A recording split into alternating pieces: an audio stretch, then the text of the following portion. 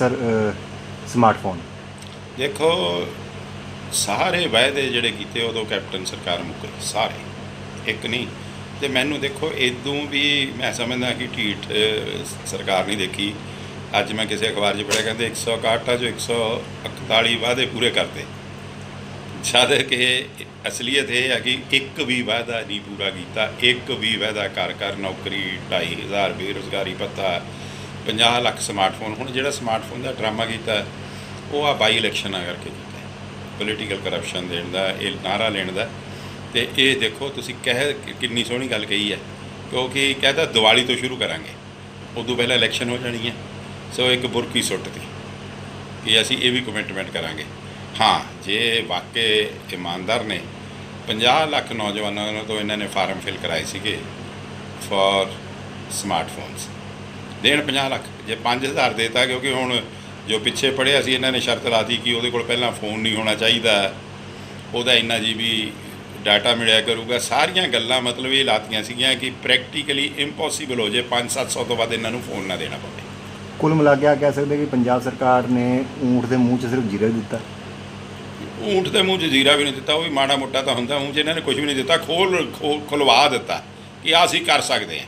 ਜਿਵੇਂ ਕਰਜ਼ਾਨ ਕਿਸਾਨੀ ਦਾ ਕਰਜ਼ਾ ਮਾਫ ਕਰਨ ਦੀ ਗੱਲ ਕੀਤੀ ਸੀ ਉਸ ਤੋਂ ਬਾਅਦ ਤਿੰਨ ਤੋਂ ਚਾਰ ਕਿਸਾਨ ਰੋਜ਼ ਸੁਸਾਈਡ ਕਮਿਟ ਕਰ ਰਹੇ ਨੇ।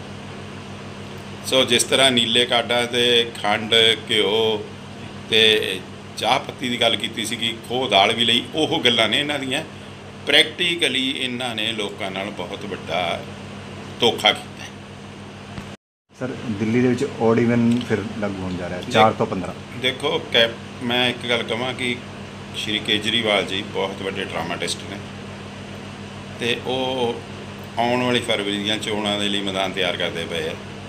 ਕਿਉਂਕਿ ਉਹਨਾਂ ਨੂੰ ਪਤਾ ਸੀਗਾ ਕਿ ਜਿਹੜੀਆਂ ਜਿਹੜੀਆਂ ਗੱਲਾਂ ਤੇ ਲੋਕਾਂ ਨੇ ਉਹਨਾਂ ਨੂੰ ਘੇਰਨਾ, ਦਿੱਲੀ 'ਚ ਪੋਲਿਊਸ਼ਨ ਘਰਾਂ ਵਿੱਚ ਪੀਣ ਵਾਲਾ ਪਾਣੀ ਨਾ ਮਿਲਣਾ, ਦਿੱਲੀ ਵਿੱਚ ਸੜਕਾਂ ਦੇ ਕੈਮਰੇ ਨਾ ਲੱਗਣੇ, ਵਾਈਫਰੀ, ਵਾਈਫਾਈ ਨਾ ਮਿਲਣਾ। ਸੋ ਉਹਨਾਂ ਨੇ ਹੁਣ ਇਹ ਡਰਾਮੇ ਫਰਵਰੀ ਤੱਕ ਖੇਡਣੇ ਨੇ। ਇਹ ਪੁੱਛਿਆ ਜਾਵੇ ਕਿ ਇੱਕ ਪਾਸੇ ਉਹਨਾਂ ਦੀ ਸਰਕਾਰ ਕਹਿ ਰਹੀ ਹੈ ਕਿ ਅਸੀਂ 25% ਪੋਲੂਸ਼ਨ ਘੱਟ ਕਰ ਦਿੱਤਾ ਹੈ। ਤੇ ਜੇ 25% ਪੋਲੂਸ਼ਨ ਘੱਟ ਕਰ ਦਿੱਤਾ ਹੈਗਾ, ਫਿਰ ਕੀ ਲੋੜ ਹੈ ਇਹ ਬੈਨ ਲਾਉਣ ਦੀ? ਅਸਲੀਅਤ ਇਹ ਹੈ ਕਿ ਪੋਲੂਸ਼ਨ ਕੋਈ ਘੱਟ ਨਹੀਂ ਹੋਇਆ। ਇਹ ਇੱਕ ਮੈਸੇਜ ਦੇਣ ਦੀ ਗੱਲ ਕੀਤੀ ਹੈ ਕਿ ਸਰਕਾਰ ਆਪਣੀ ਗੱਲ ਤੇ ਸੁਚੇਤ ਹੈ। ਮੈਂ ਸਮਝਦਾ ਕਿ ਜਿਹੜੇ ਇਹਨਾਂ ਦੇ ਟਾਈਮਿੰਗਸ ਆ ਉਹ ਟੋਟਲੀ ਗਲਤ ਨੇ। ਫੈਸਟਿਵ ਸੀਜ਼ਨ ਹੈ। 12 ਨਵੰਬਰ ਨੂੰ 550ਵਾਂ ਗੁਰਪੁਰਬ ਆ, ਪਹਿਲੇ ਪਾਤਸ਼ਾਹ ਦਾ, ਜਿਹਨੂੰ ਦੁਨੀਆ ਭਰ ਵਿੱਚ ਬੜੀ ਸ਼ਾਨੋ ਸ਼ੌਕਤ ਨਾਲ ਮਨਾਇਆ ਜਾਂਦਾ ਹੈ। ਉਸ ਦੇ ਮਨਾਉਣ ਦੇ ਸੰਬੰਧ ਵਿੱਚ ਪਹਿਲੀ ਤਰੀਕ ਤੋਂ ਸਮਾਗਮ ਸ਼ੁਰੂ ਹੋ ਰਹੇ ਨੇ, ਹਰ ਥਾਂ ਤੇ। ਤੇ ਉਹ ਜਦ ਵਹੀਕਲਸ ਤੇ ਰਿਸਟ੍ਰਿਕਸ਼ਨ ਲਾਊਗੀ, ਇੱਕ ਤਰ੍ਹਾਂ ਦਾ ਇਹਨਾਂ ਨੇ ਮਤਲਬ ਉਹਨਾਂ ਵਿੱਚ ਵਿਘਨ ਪਾਉਣ ਦੀ ਕੋਸ਼ਿਸ਼ ਕੀਤੀ ਹੈ ਜਿਹੜਾ ਬਹੁਤ ਗਲਤ ਫੈਸਲਾ, ਤੇ ਅਕਾਲੀ ਦਲ ਇਸ ਗੱਲ ਦੀ ਬੜੇ ਸਖਤ ਸ਼ਬਦਾਂ 'ਚ ਨਿੰਦਿਆ ਕਰਦਾ ਸਰ ਅ, ਜਿਹੜੇ ਐਮਐਲਏ ਲਗਾਏ ਗਏ ਨੇ ਵਿਧਾਇਕ। ਦੇਖੋ ਇਦੋਂ ਵੱਡੀ ਪੋਲੀਟੀਕਲ ਕਰਪਸ਼ਨ ਨਹੀਂ ਕੋਈ ਹੋ ਸਕਦੀ ਕਿਉਂਕਿ ਜਿਹੜੇ ਇਲੈਕਟਿਡ ਰਿਪਰੈਜ਼ੈਂਟੇਟਿਵਸ ਨੇ ਨਾ ਜੀ ਉਹ elected representative under the rules MLA the protocol ਵਿੱਚ status more than chief secretary ਹੈ। ਤੇ ਉਹਨਾਂ ਨੂੰ ਇਹ ਅਹੁਦੇ ਦੇਣ ਦੀ ਕੋਈ ਲੋੜ ਨਹੀਂ ਹੁੰਦੀ ਐਮਐਲਏਜ਼ ਨੂੰ ਕਿ ਤੁਸੀਂ ਉਹਨਾਂ ਨੂੰ ਚੇਅਰਮੈਨ ਲਾਓ ਜਾਂ ਉਹਨਾਂ ਨੂੰ ਤੁਸੀਂ ਇਹ ਚੀਜ਼ਾਂ ਕਰੋ। ਉਹਨਾਂ ਨੂੰ ਆਲਰੇਡੀ ਇੱਕ ਸਿਕਿਉਰਿਟੀ ਲਈ ਕਾਰ ਮਿਲੀ ਹੁੰਦੀ ਹੈ, ਤਿੰਨ ਗਨਮੈਨ ਮਿਲੇ ਹੁੰਦੇ ਨੇ, ਪੱਤੇ ਬੜੇ ਵਧੀਆ ਨੇ ਉਹਨਾਂ ਦੀ ਜਿਹੜੀ ਮੰਥਲੀ ਸੈਲਰੀ ਆ ਉਹ ਬੜੀ ਵਧੀਆ ਹੈਗੀ ਹੈ। ਇਹ ਸਿਰਫ ਪੋਲੀਟੀਕਲ ਕਰਪਸ਼ਨ ਕੀਤੀ ਗਈ ਹੈ, ਕਿਉਂਕਿ ਇਹਦੇ ਨਾਲ ਹੋ, ਕੀ ਹੋ ਜਾਂਦੀ ਹੈ ਕੌਂਸਲੇਸ਼ਨ ਇਹ ਐਮਐਲਏ ਨੂੰ ਹੁਣ ਇੱਕ ਇੱਕ ਕਮਰਾ ਪੰਜਾਬ ਸਕੱਤਰੇਤ 'ਚ ਵੀ ਮਿਲ ਜੂਗਾ। ਇੱਕ ਪੀਏ ਇੱਕ ਸਟੈਨੋ ਦੋ ਸੇਵਾਦਾਰ, ਇੱਕ ਸੈਕਟਰੀ ਮਿਲ ਜੂਗਾ। ਇਹਨਾਂ ਨੇ ਇਹ ਤਾਂ ਬੜੀ ਸਿਆਣੀ ਗੱਲ ਕਹੀ ਹੈ ਕਿ ਅਸੀਂ ਇਹ ਸੌਦੇ ਦੇ ਪੱਤੇ ਨਹੀਂ ਲਵਾਂਗੇ, ਕਿਉਂਕਿ ਵੱਧੋ ਵੱਧ ਐਡਵਾਈਜ਼ਰ ਹੈ ਜਿਹੜਾ। ਉਹ ਐਡਵਾਈਜ਼ਰ ਨੂੰ ਪਤਾ ਨਹੀਂ, ਸਾਡੇ ਵੇਲੇ ਤਾਂ ਅਸੀਂ 30000 ਹੀ ਦਿੰਦੇ ਸੀ ਐਮਐਲਏ ਸੈਲਰੀ ਸੀ ਜਿਹੜੀ ਐਡਵਾਈਜ਼ਰ ਦੀ। ਹੁਣ ਇਹਨਾਂ ਨੇ ਆਪਣੇ ਐਡਵਾਈਜ਼ਰਸ ਨੂੰ ਸਵਾ ਲੱਖ ਦਿੱਤੀ ਹੋਈ ਹੈ। ਤੇ ਜੇ ਸਵਾ ਲੱਖ ਵੀ ਦੇਣ ਤਾਂ ਐਮਐਲਏ ਦੀ ਜਿਹੜੀ ਮੰਥਲੀ ਇਨਕਮ ਹੈ ਸਾਰੀ ਉਹ ਤਕਰੀਬਨ 1.5 ਲੱਖ ਆਉਂਦੀ ਹੈ। ਨਾਲੇ ਸਾਰੇ ਜਿਹੜੇ ਬੰਦੇ ਆ ਫਾਈਨੈਂਸ਼ੀਅਲੀ ਬੜੇ ਅਮੀਰ ਲੋਕ ਨੇ, ਬੜੇ ਕਮਾਏ ਹੋਏ ਨੇ ਇਹਨਾਂ ਦੇ ਪੈਸੇ। ਇਹਨਾਂ ਨੂੰ ਪੱਤੇ ਨਹੀਂ ਸੀ। ਇਹਨਾਂ ਨੂੰ ਸਟੇਟਸ ਸੀ ਤੇ ਇਹਨਾਂ ਨੂੰ ਜਿਹੜੀ ਹਵਾ ਹੁੰਦੀ ਆ, ਇੱਕ ਅਹੁਦੇ ਦੀ, ਉਹ ਆਨੰਦ ਮਾਣਨ ਦੀ ਲੋੜ ਸੀ ਕਿ ਕੈਬਨਿਟ ਲੱਗੂਗਾ। ਸੋ ਇਸ ਕਰਕੇ ਆ, ਮੈਂ ਸਮਝਦਾ ਕਿ ਇਹ ਦੋ ਵੱਡੀ ਪੋਲੀਟੀਕਲ ਕਰਪਸ਼ਨ ਕਿਉਂ ਨਹੀਂ ਹੋ ਸਕਦੀ? ਕਿਉਂਕਿ ਸੁਪਰੀਮ ਕੋਰਟ ਨੇ ਇੱਕ ਵਾਰੀ ਨਹੀਂ, ਅਨੇਕਾਂ ਵਾਰੀ ਜੱਜਮੈਂਟ ਦਿੱਤੀ ਹੈ ਕਿ ਜਿਹੜੇ ਇਲੈਕਟਿਡ ਰਿਪਰੈਜ਼ੈਂਟੇਟਿਵ ਆ, ਉਹ ਆਫਿਸ ਆਫ ਪ੍ਰੋਫਿਟ ਨਹੀਂ ਰੱਖ ਸਕਦੇ।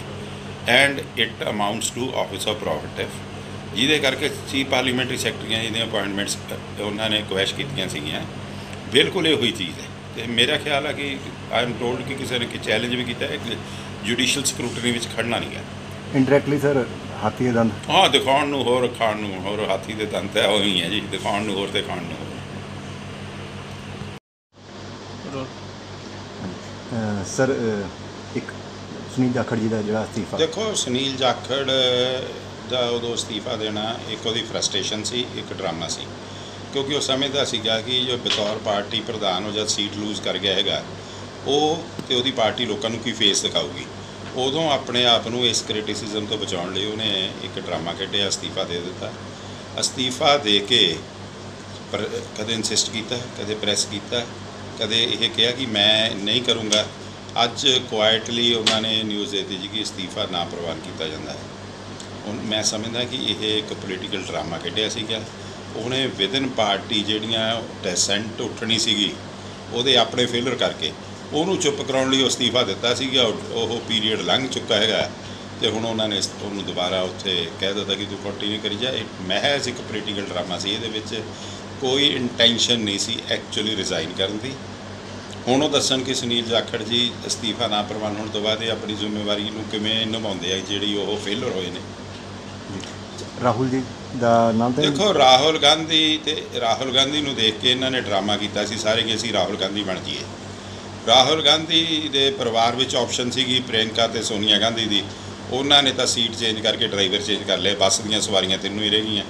ਰਾਹੁਲ, ਸੋਨੀਆ ਜੀ ਤੇ ਪ੍ਰਿਯੰਕਾ, ਇਹਨਾਂ ਕੋਲ ਸਵਾਰੀਆਂ ਹੋ ਰਹੇ ਨਹੀਂ, ਇਕੱਲੇ ਦੇ ਜੀ ਦੇ ਜੀ ਹੈਗੇ ਨੇ, ਸੋ ਇਹਨਾਂ ਨੂੰ ਆਪ ਰੱਖਣਾ ਪਿਆ।